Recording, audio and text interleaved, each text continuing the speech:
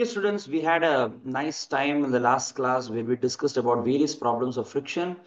And we would like to further continue this discussion on friction by taking some special cases of banking.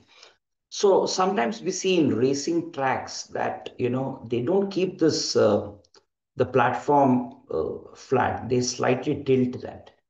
So this is this is basically done so that you can also take help of normal reaction to provide the required centripetal force. Otherwise, the complete load comes on friction force, which is going to cause a lot of wear and tear on your racing cars and cause them to get damaged.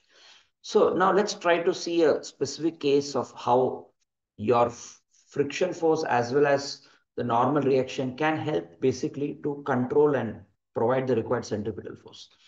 So now there are two possible cases. We know that when, when you decrease your speed, you know, this car is going to come down. And we see that when you increase your speed, you go and bang the railing. These are things that happen in racing cars. So there are two possible velocities that you could talk about. So we could talk about one of them today. Let's say I will discuss something about V minimum. So if I draw the free body diagram and I would like to resolve all forces in the vertical and the horizontal direction because that will make more sense for me in this application. So coming down vertically is mg and normal reaction is perpendicular to the plane. If I draw one vertical, I know that this angle is theta, which means that this angle is theta.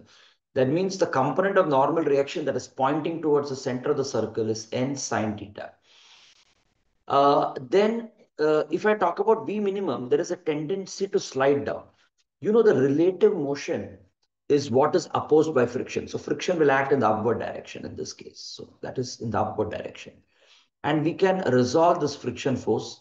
We can see this angle is also theta. So this is F cos of theta, right? And uh, here you can say this is going to be N cos theta.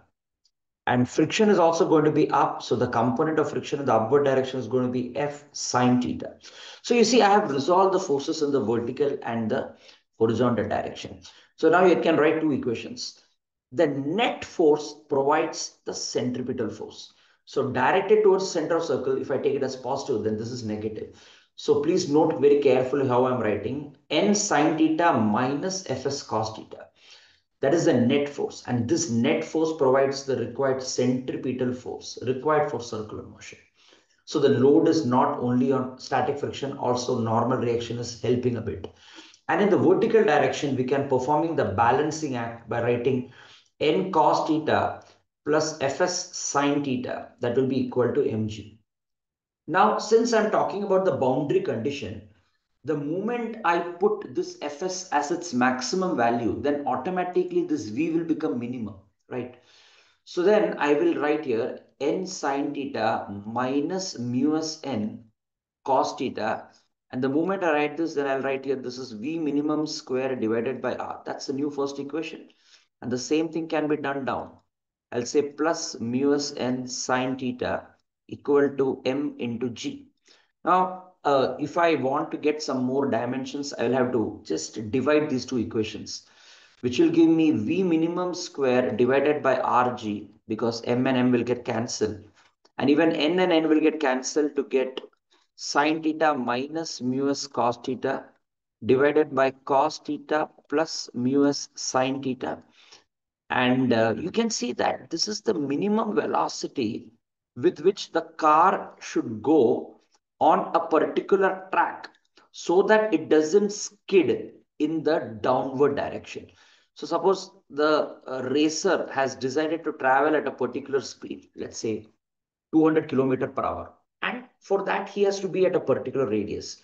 So if he decreases, keeping that radius fixed, if he decreases his speed below this value, he will skid in the downward direction. Skidding will happen.